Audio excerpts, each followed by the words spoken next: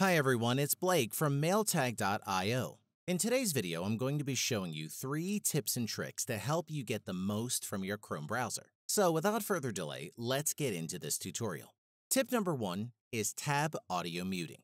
If you've ever had a dozen browser tabs open on your computer, you probably already know how annoying it can be to locate which tab is playing audio. Fortunately, there is a solution for this problem. Tab audio muting provides you with the ability to not only see which browser tab is playing audio, but also the ability to mute the audio playing tab without actually clicking on the tab. For example, as you can see, this browser tab is playing audio from a music video. And if I click on the sound icon, I can actually mute the audio from this video. As you can imagine, this is a lot easier than actually going to the tab, clicking pause, and then returning back to your original tab.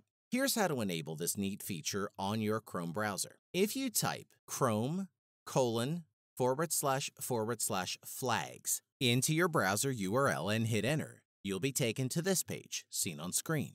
This is the experimental Chrome features page. On this page, you'll find all of Chrome's experimental features that haven't yet been added to Chrome because everything here is still in beta testing, meaning these features are not perfect and can potentially crash your browser. Once on the page, scroll down to the section labeled Tab Audio Muting UI Control and click Enable. Once enabled, click the blue Relaunch Now button and voila! Once your browser has restarted, you can now begin using the tab muting feature. Tip number two is closed tab recovery. If you've ever closed a browser tab on accident and want to bring it back, simply type Control Shift T. And if you're on Mac, type Command Shift T. Now, let's see tab recovery in action. Let's say I'm watching this really neat promotional YouTube video. If I accidentally close this awesome video, all I have to do to bring it back is type Control Shift T, and the tab will magically reappear. Tip number three is toggling with your Chrome settings. In your settings, you can enable and disable a variety of features that will help you stay productive throughout the day. For example, if you want to view your bookmark bar on your browser, click the Show Bookmarks bar switch as seen on screen. You can also access other helpful toggles such as the Google Homepage icon toggle. When enabled, the home icon will appear next to your refresh button as seen on screen.